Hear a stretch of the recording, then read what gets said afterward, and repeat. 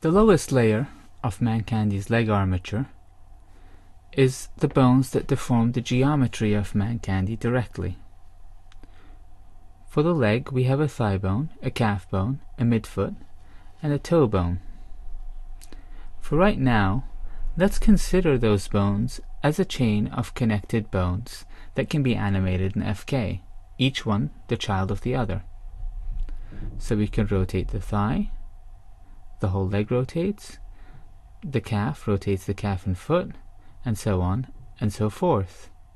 The problem with this, of course, is that there's nothing that locks the foot into position on the ground, so as you move and rotate the upper body, the feet are going to go all over the place. And so there's no really good way to keep the character standing on the ground. And there's a problem with pinching at this joint because of the rotation of those two big bones coming into it.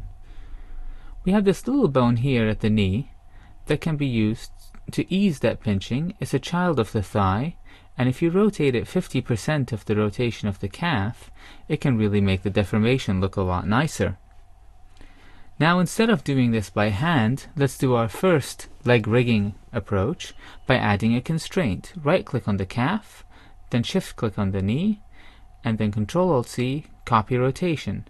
Then change that influence from the default 1 to 0.5. Now you have a bone that automatically will rotate 50%, smoothing the deformation of the calf rotation.